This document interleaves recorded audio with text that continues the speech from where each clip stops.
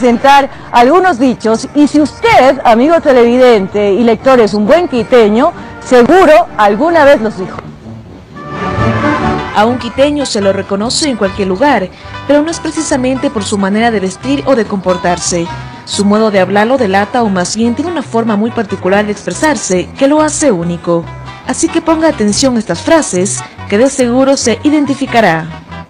Si al quiteño le invitan algo y no está con ganas, pero no quiere ser descortés, dice... Más de... ¿Cómo estás? Bien. Ay, gracias, gracias. ¿Quieres un poco de agua? No, aquí amor, está bien. Bueno, yo sí.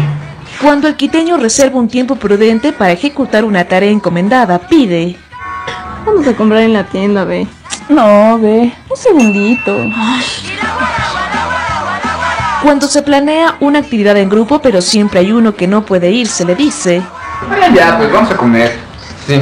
No, yo ya me tengo que ir. Chuta, no, pues así. Expresión utilizada a manera de ruego cuando se necesita un favor, el quiteño dice... Oigan, oigan, oigan, hice el deber. Ay, se cacho, yo tampoco hice. Ni yo. Chuta, pero acoliten, no son malitos. Sí, a colita. Está loco. Ah, Toma, ya, toma, copia, copia. ¡Qué bestia buenazo! ¡Pay, Rosa, pay! La angustia y la incertidumbre por los problemas de los demás que le preocupan, le dice el amigo. Es que ni sabes, terminé con el pancho. Y ahora ve. No sé, yo voy a ver qué hago. Si se le apetece la comida del prójimo, pídale. ¿Qué más, chicos? ¿Qué fue? ¿Cómo están? ¡Chuta, qué hambre! Vamos. Agende con alguien una cita que jamás ocurrirá, le dice. ¿Qué fue, loco? ¿Qué se va? Más, ve. Este, me, me tengo que ir. Eh, Estoy bien, pero me tengo que ir. Chuta, asomarás, asomarás, ve. Al solicitar la custodia de sus pertenencias a alguien, le dice. Oye, colítame al baño. Oye, dame echame un ojito a las maletas. de una. Estas son algunas de las frases más utilizadas por los capitalinos. La influencia del quichua, el inglés y francés se han adoptado a la cotidianidad y a las conversaciones más comunes. somos una mezcla bastante abigarrada de eh, características lingüísticas y culturales distintas. Como lo explica el escritor Edgar Allan García, quien publicó en el año 2015 su obra Quiteñísimos, diccionario con más de 700 frases, muchas de ellas se refieren a varias situaciones, la tendencia hacia los diminutivos y arrastrar algunas consonantes son parte del habla.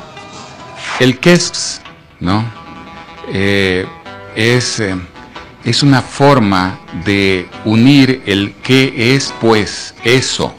¿Qué es pues eso? ¿No? Y lo, y lo unes y lo acortas y ya se, se transforma en quesps o ss. por ejemplo, de ss. También hay quiteñismos que se utilizan cuando uno se equivoca y nuevamente va a repetir toda la frase. Ya, ya está en rec. Ya van a bajar, ya.